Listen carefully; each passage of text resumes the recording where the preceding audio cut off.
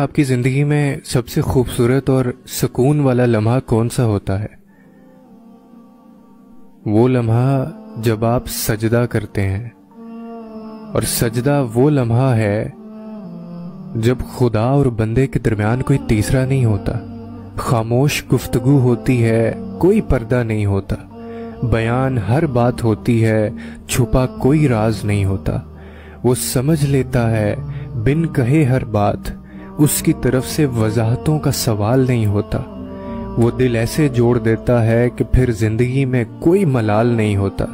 उसकी मोहब्बत ऐसा सुकून देती है कि फिर दिल कभी बेकरार नहीं होता।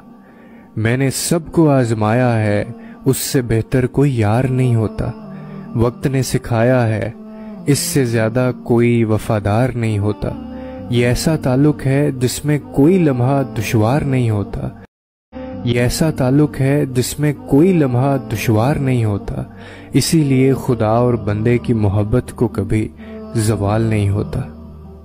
और आपको अंदाज़ा नहीं है कि ये जो सजदा होता है ना, कितनी मुशक्क़तें, कितनी थकावटों को समेट कर ये एक सजदा बनता है और ये हर हाल में किया जाता है।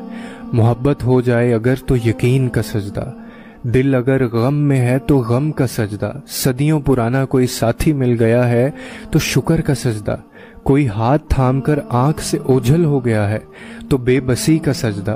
कभी अपनी गर्ज का तो कभी हर गर्ज के मिट जाने का सजदा। कभी नदामतों का तो कभी माफ़ी की तलब का शर्मसार सजदा। कभी खुद को खो देने का तो कभी खुदा को पा लेने का सजदा।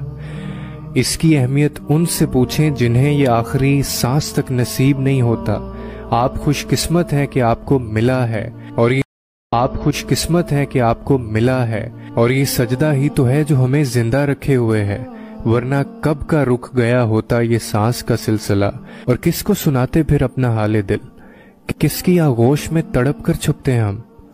और इसीलिए चाहे कुछ भी हो जाए, आप सजदा करना कभी मत भूलिएगा।